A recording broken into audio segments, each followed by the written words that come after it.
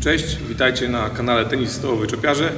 W dniu dzisiejszym będziemy dla Was robić chop blok. Wykorzystamy do tego chopa Tiber Grass Detek.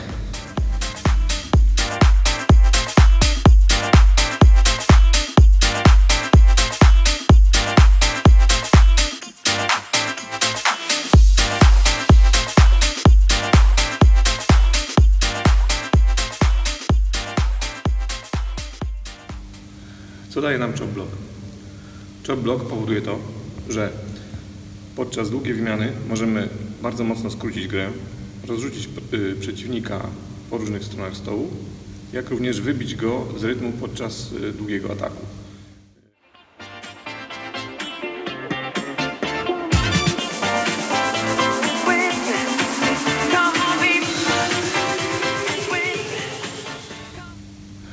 Aby wykonać poprawnie chop block, przede wszystkim potrzebny jest nam miękki nadgarstek i przy odbiorze piłki ruch do tyłu.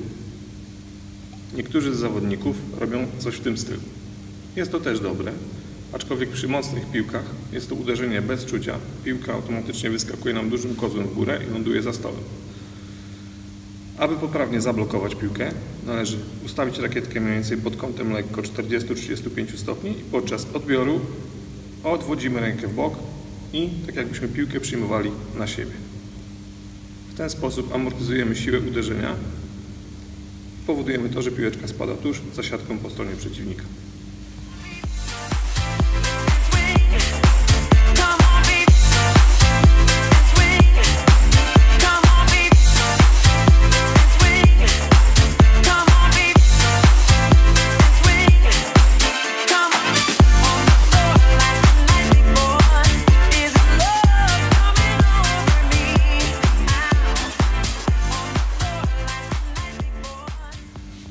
Co daje nam chop block?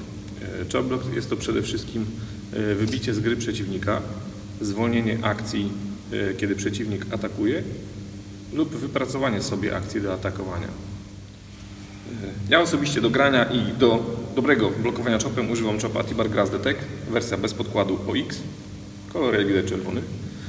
Y, Dlaczego używam tego chopa? Tym chopem bardzo łatwo potrafię zablokować piłkę, która spadnie tuż za siatką przeciwnika.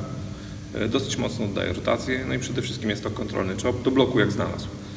E, Za chwileczkę pokażemy Wam na przykładzie tego chopa, w jaki sposób można poprawnie wykonać stop block, jak również w jaki sposób można ten blok wykonać w sposób zły, dzięki czemu, tak jak mówiłem wcześniej, piłka wysokim lobem ląduje albo za stołem, albo wysoko oddana jest przeciwnikowi. Spójrzcie teraz, jak powinien wyglądać poprawny stop block.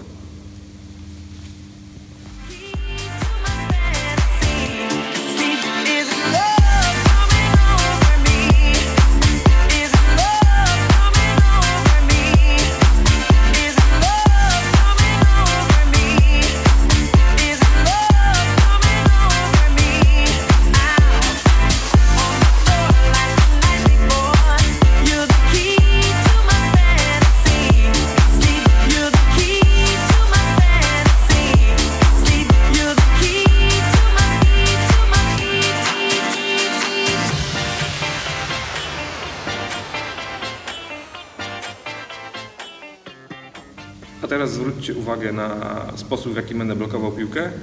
Jak nie należy tego robić. To będzie zły przykład.